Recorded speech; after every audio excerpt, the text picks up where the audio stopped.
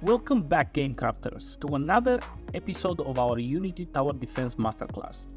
Coding, creativity, and strategy are all coming together. In our previous episode, we created our minion hordes and mastered the art of wave control. Your battlefield is starting to buzz with action.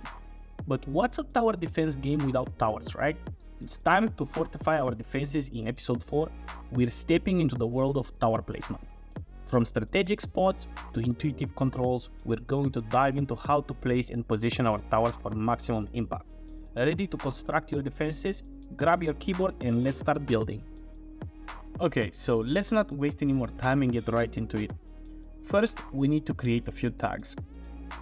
Go to any game object, go to tags, add tag. We need two of them. So first one, we need a grid or a platform wherever you want the towers to be positioned and if it's occupied or not. So let's say platform and let's say occupied. Great. Go into your uh, platforms, select all of them and tag them with platform. Great. Now let's go into our scripts folder right click, create new C Sharp script, and let's call it UI interface. Let's open it up. We're not going to use the start method, so you can go ahead and delete it. And we need two variables. One is public, and it's a game object. And let's call it Gatling Tower. This is our prefab. Then let's create another one. It's game object, focus object. So we're using this prefab to instantiate the object and then we're going to put it inside this focus object. Cool. So to place a tower, we need three states. First one is when we get when we press click, so input that get mouse button down. We want to do something here. Else if now we have the button pressed, so we're keeping it pressed. Input that get mouse button.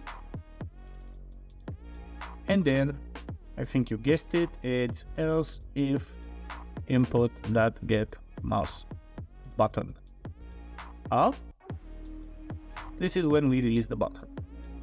Cool. So we're actually going to use a concept called raycast. Raycasting in Unity refers to the technique of projecting a ray into a scene to determine what object or surface the ray interacts with. So we can simply do a raycast hit. This is where this hit object is gonna hold the information about the object we hit. And then we want to ray equals the ray is gonna start from the position from the camera wherever we click. So let's say camera dot main dot screen point to ray and we want to pass in the mouse position. So input that mouse position. Cool. And now to actually perform the raycast we just do physics dot raycast. We pass in our ray and the hit. So this method is going to populate this hit object and it will return a boolean. So if the raycast hits something, then we have a valid hit. Otherwise, we don't. So let's say if not, physics that raycast, then we should return. So if we don't have a valid hit we just return otherwise we want to instantiate our prefab. So instantiate gatling tower. Where do we want this tower to be positioned? We want it hit that position that point sorry. And we want the object to keep its transform. So we want to say gatling tower that transform that rotation. We're gonna have a few problems when we do that because our Gatling prefab, it has a collider on it. Yours might have uh, two or not. So let's disable those colliders by focus object dot get component we want to get the collider and we want to disable it we will enable it back uh, afterwards now when we're dragging around this prefab we want to perform another raycast because we're moving the mouse, we want to perform constantly raycast. And we want to position this object, the instantiated object, wherever the mouse moves. So we can update our focus object position to wherever the hit point is. Cool. That's simple. And then we are left with the final state, which is actually another raycast. And here we should check if our hit.collider dot game object dot compare tag we want to compare the tag of that object and we want to see if it's a platform and if it is a platform we want to update the tag to hit that collider that game object that tag equals occupied. So we're basically saying that this platform is occupied now.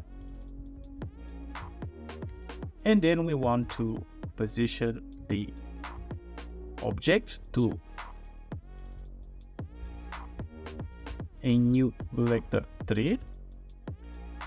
This new vector 3 needs to have the x and z of our hit collider and it should keep its y position. So we should do hit that collider dot game object dot transform dot position dot x and here we want focus object that transform dot position dot y and we can copy this one here put it here and change this to z Great, so if we hit a platform, we want to position the focus object there. Otherwise, so if it's anywhere in the scene, we want to destroy the focus object. And here we should reset the object to null. Focus object to null. Now, you might encounter some issues.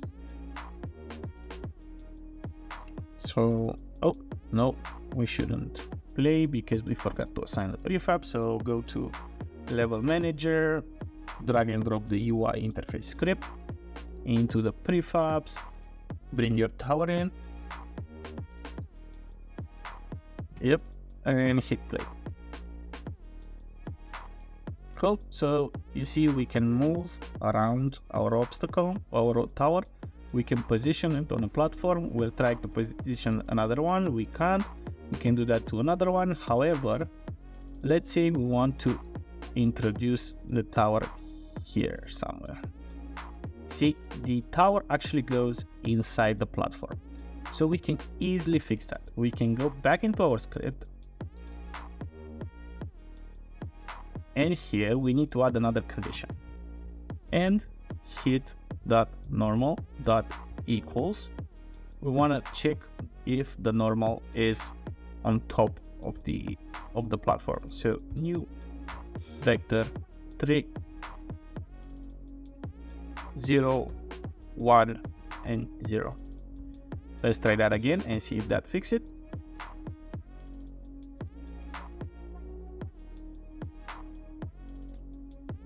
Click play.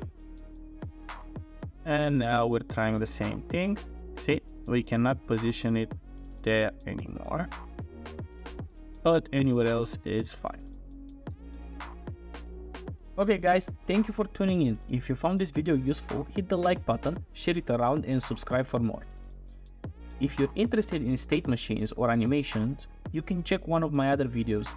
Stay connected keep learning and i'll catch you in the next one. Happy coding